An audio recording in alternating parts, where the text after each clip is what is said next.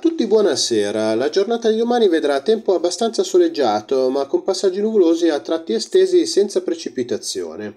Nelle ore più fredde formazione di foschie e qualche nebbia in pianura.